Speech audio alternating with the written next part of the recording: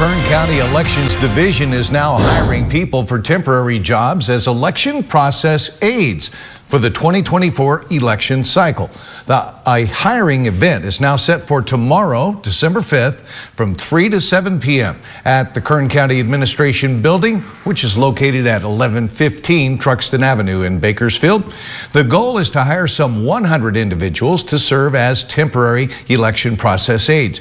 To be eligible for the position, candidates must be 18 years of age or older, registered to vote in Kern County, and you must possess possess proficient proficiency, I should say, in basic com computer and customer service skills. For more information about the election process aide hiring event and to access the online application for it, please visit kerncounty.com forward slash careers.